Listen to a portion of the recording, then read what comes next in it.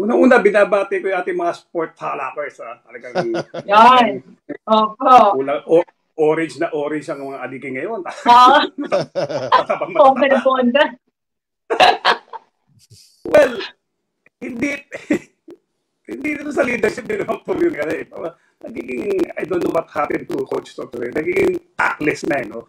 Uh, Oo. being the coach that he is, no? A very decorated coach na under nga ako dyan, eh. Hanga rin ako dyan, matalino. At, at uh, marami na pag-champion team. For that stature na parang magsab, magsalta ka sa ganun. It's a, it's conduct and becoming of a coach, you know. That's a, that's an in-advice statement. Eh. I remembered in 1983, okay? Coach ko to sa Presto, si Coach Jimmy Mariano. He was then play uh, coaching uh, Great Taste. They were up ag- against a lowly team, the Gallery Dominic. Uh, may arian dati si Councilor, si Senador Nicky Coseteng siya, eh, Coseteng. Yan. That was in 1983. They lost to Gallery Dominic at sinabi ni ni Coach Jimmy Mariano, we did not intend to win. Okay? O yun, the following day, he was fired.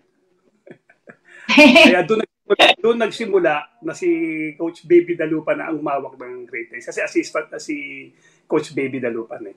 Pero siguro napatawad si Coach Jimmy kasi nung time ko nung bumalik ako, 80 days yata, bumalik na si Coach Jimmy. Pero sa, sa sinabi niya, ah, talagang merong ano, may repercussion, may consequence na kailangan. Kasi hindi, para, para isang sa isang ma- malaking team na uh, talagang pinagpeprepara pinagpreparahan ng husto, national team, para sabihin mo na gano'n, parang hindi, hindi pa pwede. Unang-una, galing na kayo sa puro talo eh.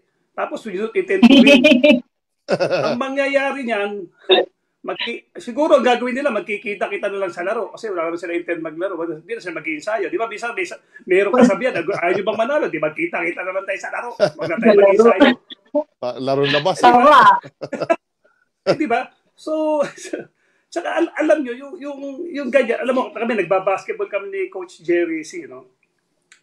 Kahit no bearing game yan, binibigay namin yung lahat kasi yung psychological boost, yung edge. Tama.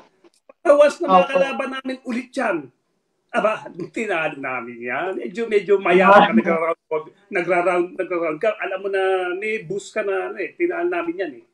Yun yun eh. And, and even so, yung mga iba pang that, uh, magiging next uh, games namin, after winning, we're coming from a, ano, from a, uh, good note, di ba? From a high note, galing ka sa panalo.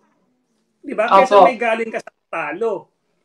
Di ba? Hindi ganun, hindi, hindi ano, tapos ang dami ng ano, di ba? tama si Coach Jerry, ang dami na naging attorney. Ay, hindi, ganyan, ganyan. Ang dami. Nililinis na, no? Ay, hindi, hindi naman ganun, hindi ganun, nako.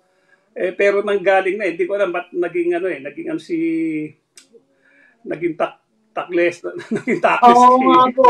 hindi niya inaano eh. Di ba? Ah, di- ah, ang dami na niyang kinakaharap na problema, sisi, bash, maggagaling pa sa kanya yung isang ganito. I don't know if Siya he is pa rin po. takles o parang o parang I don't know ha, ito ano lang ito ha, wild guess lang ito wild imagination coming from me no hindi ko alam kung talagang takles o parang on, on the other hand sinasabi niya na I can say anything kasi nakasandal ako sa pader bahala kayo Yun. Oo nga. Oo nga, Ah. Oo nga. Tama.